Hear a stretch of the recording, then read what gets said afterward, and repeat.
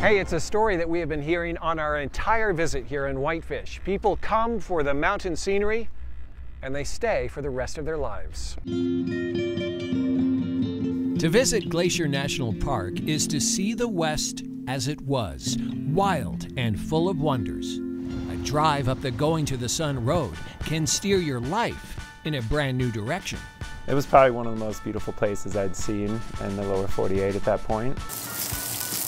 And that's all it took for New Orleans based chef Andy Blanton, a four time James Beard Award semifinalist, to move to nearby Whitefish, Montana where he owns Cafe Kandahar, located inside Kandahar Lodge. It's kind of like being a big fish in a small pond. It wasn't a career move at the time.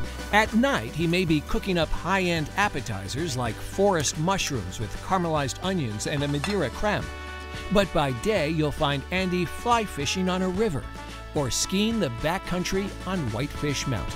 There's a lot of great tree skiing. There's enough expert or advanced terrain that if that's what you're after, it's there. But it's also got a lot of intermediate terrain. It's been said if you visit Whitefish for more than three days, you'll end up living here. Partner, do My square dancing partner, Alyssa MacArthur, moved here with her family from Sedro-Woolley. It's really nice. There's a really long winter, but the summers make it worth it up here. Her boss moved here from Connecticut. She's from Colorado and that guy's from Boston.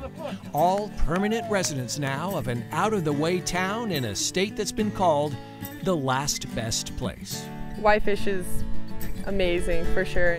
Coral Schultz moved here in junior high and has never regretted it. There's so much to do. Like, there's not a day that you can't find anything to do. She likes to spend the day on the 36 hole Whitefish Lake golf course.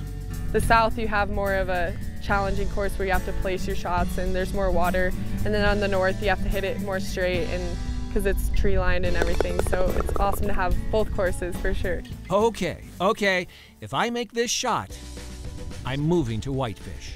To win the Masters, the Tacoma Kid. Oh yeah, baby. Better tell the wife and kids it's time to start packing like Whitefish locals say. You'll be back.